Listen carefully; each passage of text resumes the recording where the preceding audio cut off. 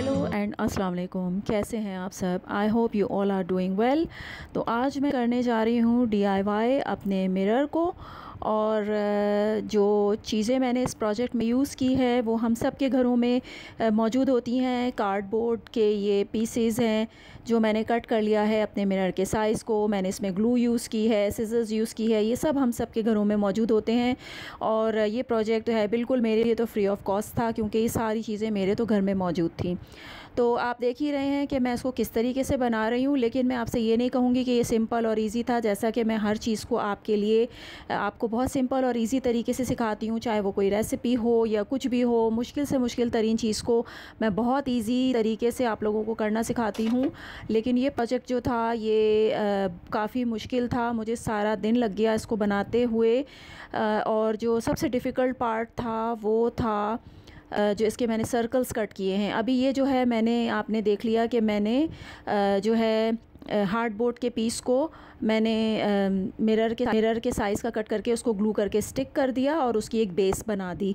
इसके बाद जो ये मैंने डिज़ाइन चूज़ किया था, पहले मैं कुछ और डिज़ाइन में बनाना चाह रही थी, लेकिन मैंने कहा कि मैं सिंपल और इजी सा बनाती हूँ तो मैं सर्कल बना लेती हूँ। लेकिन सर्कल भी देखने में इतने आसान है बनाना और उसको काटना इतना मेरे लिए मुश्किल हुआ, क्योंकि मैंने काफ़ी सारे सर्कल्स इसमें कट किए और फिर मैंने उसको रैप किया और मैं असल में इसको मैच करना चाह रही थी अपनी उस D I Y chest drawer से, जो कि मैंने अभी कुछ दिनों पहले अपनी एक चेस्ट ड्रॉर को डी आई वाई किया था। आप में से अगर किसी ने नहीं देखा तो मैं डिस्क्रिप्शन में उसका लिंक नीचे डाल दूँगी तो आप लोग उसको देख लीजिएगा। और मैं उससे मैच करके इस मिरर को बनाना चाह रही थी। और ये जो मिडल पार्ट जो सर्कल है, ये कट करने में मुझे काफ़ी मुश्किल हुई। और इसके बाद जब मैंने इसको रैप किया है तो वो बहुत ज़्यादा मुश्किल और डिफ़िकल्ट पार्ट था। और मैं इसको एक एक करके कर रही थी। मैं, क्योंकि मुझे ख़ुद भी नहीं पता था कि मुझे कितने सर्कल्स की ज़रूरत पड़ेगी। क्योंकि जब कोई भी चीज़ आप डी करते हैं तो चीज़ें तो आपके जहन में होती हैं कि भाई हमने इस तरह से उसको बनाना है, लेकिन उस, वो किस तरह से बनेगा और कैसा लगेगा बाद में, वो बनाने वाले को ख़ुद भी नहीं पता होता है। तो वो मुझे ख़ुद भी नहीं पता था। अभी सर्कल मैंने कट कर लिया, उसके बाद मैंने इसको ये फॉइल से रैप किया और फिर एक एक मैंने बना बना के मैंने लगाया है तो ताकि मुझे पता चलता रहे कि मुझे कितने सर्कल्स काटने हैं और कितनों की ज़रूरत है। तो मैं ये एक एक बना के काट के लगा रही थी और ये सब करने में मुझे सारा दिन लग गया और काफ़ी ज़्यादा मुश्किल था ये काम। लेकिन ये कि बंद को जो है आ, सही से सर्कल कट करना मेरे लिए बहुत मुश्किल हो रहा था क्योंकि वो आ, बिल्कुल इवन नहीं आ रहा था तो उसके लिए फिर मैं सैंड पेपर यूज़ कर रही थी उसको इवन करने के लिए क्योंकि अगर सर्कल सही से नहीं कटा हुआ होगा तो वो फिर अगर आप रैप करेंगे तो वो फिर सही से आपकी फ़िनिशिंग अच्छी नहीं आएगी।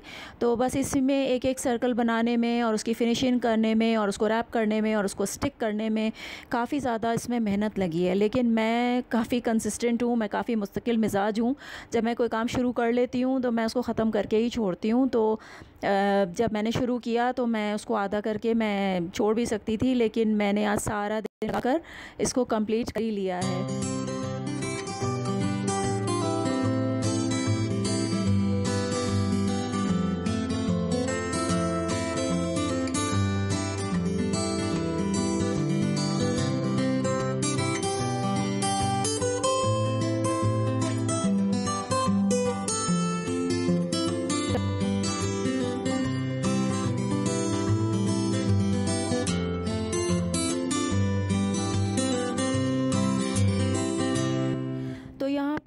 चुका है हमारा मिरर कंप्लीट और मैं इसको साफ़ कर रही हूँ स्प्रे से, जो भी इसमें ग्लू लग गई थी।